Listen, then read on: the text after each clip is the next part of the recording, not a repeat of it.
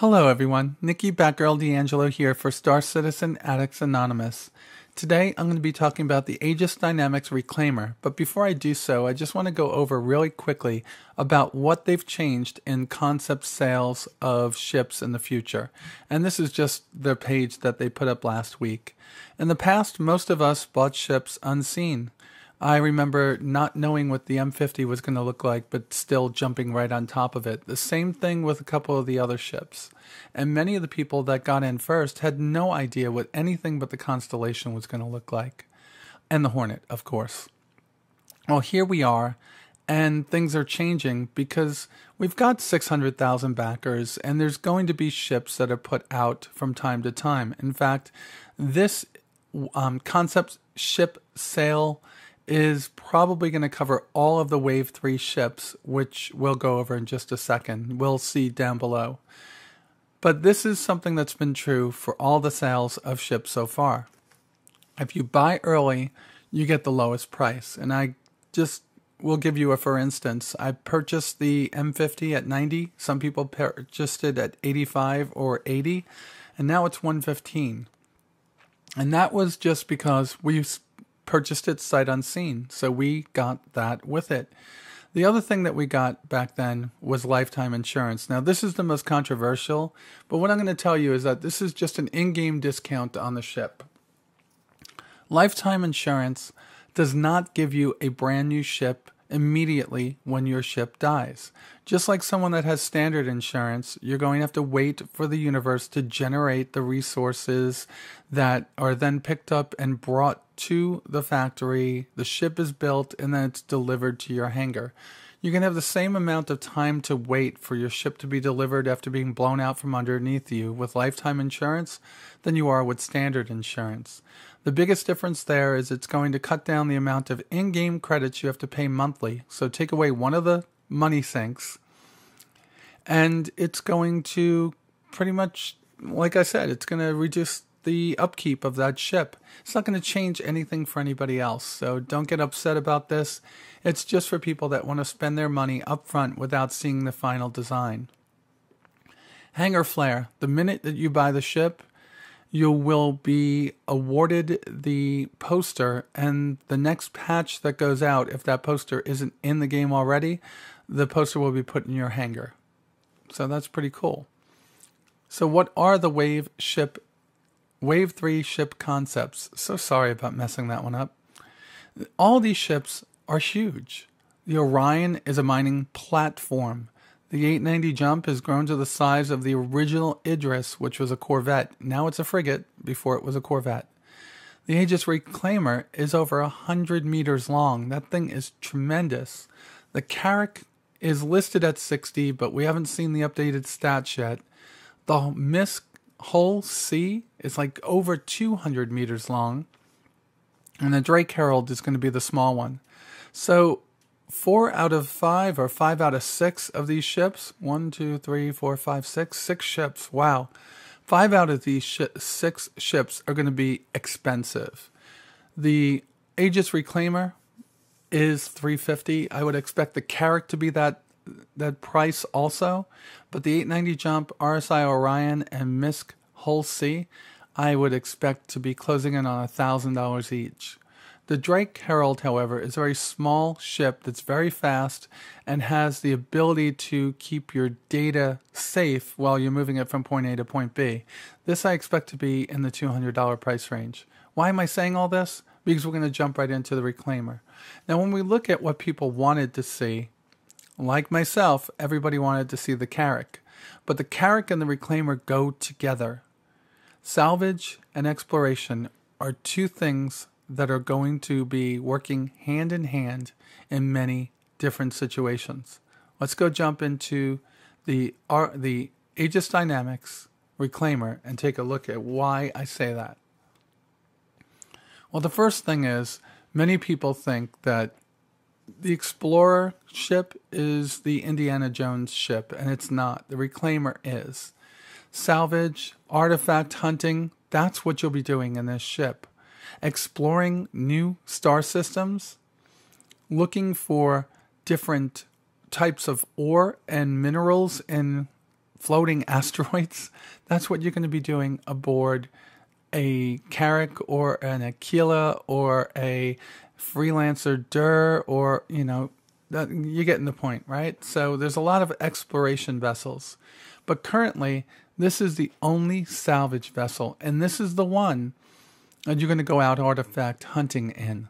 Now, if you don't want to know what that means, the Freelancer story, the Freelancer, which was Chris Roberts' game from the 90s, it, it focused around an artifact that they found. And it seems like Chris is going to have some kind of a salvage mechanic that's built around finding artifacts and different things, and also reclaiming the minerals and resources out of blown up ships. So there's going to be twofold for this ship. So this is something that you're going to want. So let's read a little bit. A dedicated salvage and reclamation platform, the Reclaimer is the perfect ship for venturing into the verse in search of riches and secrets. Whether you're churning debris fields for raw ore or searching for lost artifacts, the Reclaimer is built for utility. The life of a salvager can be tough, but with technology, the reclaimer behind you, with technology like the reclaimer behind you, it can be profitable way to make your living among the stars. I apologize for that. I'm looking through my microphone to read that. And this is what I'm saying. It's right there Lost Artifacts. This is Indiana Jones' ship. Aegis has built the perfect ship for those that want to write their own Star Citizen story. Equipped with massive multi-tool arm, the Reclaimer can grab spaceborne salvage and then carry it aboard for processing. In addition to a large cargo hold, the hull is packed with reclamation equipment capable of processing and storing up to a constellation worth of salvage. It's pretty cool, right? So it's going to take a few of these to take down your 890s. 158 meters long. That is just tremendous, right? That's 450 feet plus, probably 470 feet. A height of 50 meters, a beam of 95 meters. This is wider than a constellation is long. Null cargo mass 600,000 kilograms, and I think that's four or five times larger than the Constellation, which is the largest ship we could see in our hangar today. 2,500 standard cargo units and 20,000 standard cargo units for salvage. And remember, they will allow you to move the salvage bay over to carrying regular cargo if you want to. Five person crew, Max power plant are two size six, and that's probably to man all the equipment, to power all the equipment, including all the tractor beams and arms and those. I guess they'll be like big giant teeth that chew up the metal and turn it back into raw resources. And I would guess there'll be a smelter on there to turn it into sheet metal or stuff like that. Who knows? Factory power plant, we won't know for some time. But there are six TR5 engines, and it looks like there's two up front and two in each one of the pods in the back. So that would be four in the back and two in the front. It has eight TR3 maneuvering engines, and all the regular thrusters are vectored. So this thing is going to be heavy, big, but still maneuverable enough to get around the spaces that it has to to be able to get its equipment on the things you're trying to salvage or pick through for artifacts. It's got a max shield of 6, which is pretty damn big. And then the weapons, which we won't, know for some time, are varied, with the turrets being able to handle either weapons or extra tractor beams, and the Class 9 ports being these point, point defense weapons, which I would expect to be like the U.S. Navy and British and French CIWS mounts, which are 20 and 25 millimeter Gatling guns that have a high rate of fire and throw a lot of metal at a target. Let me tell you, when those things go off, it sounds like a very loud zipper being pulled.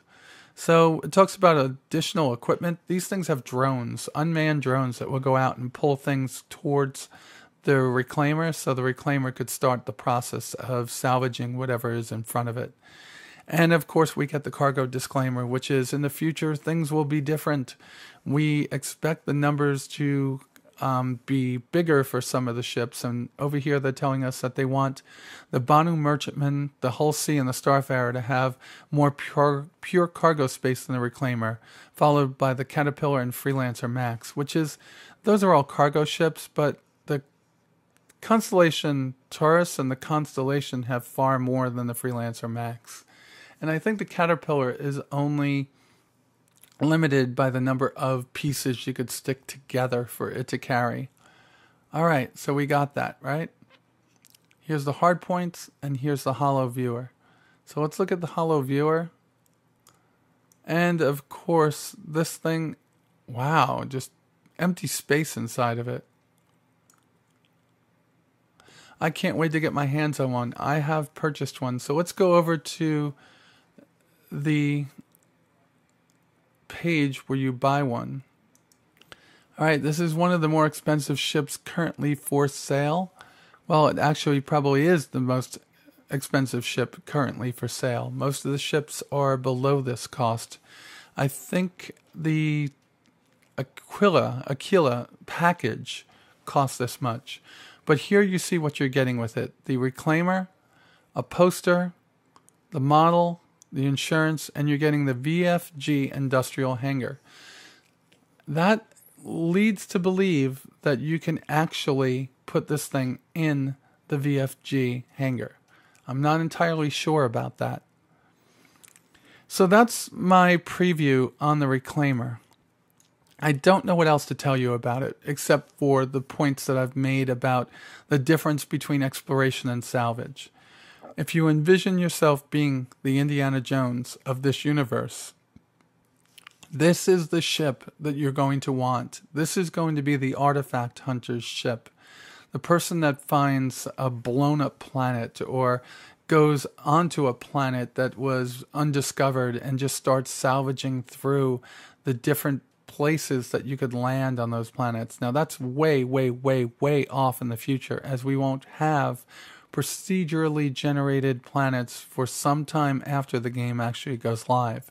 So we're looking at 2017 for something like that. So I'm very happy with the design. I think it's very um, butch looking. It's a very brute looking ship and has that industrial look and feel to it. I think they captured what a salvage vessel should look like, and it still holds on to that Aegis Dynamics design, which I'm pretty happy with. And with that said, I guess I don't have anything else for you. So you all be safe out there, and I'll talk to you soon.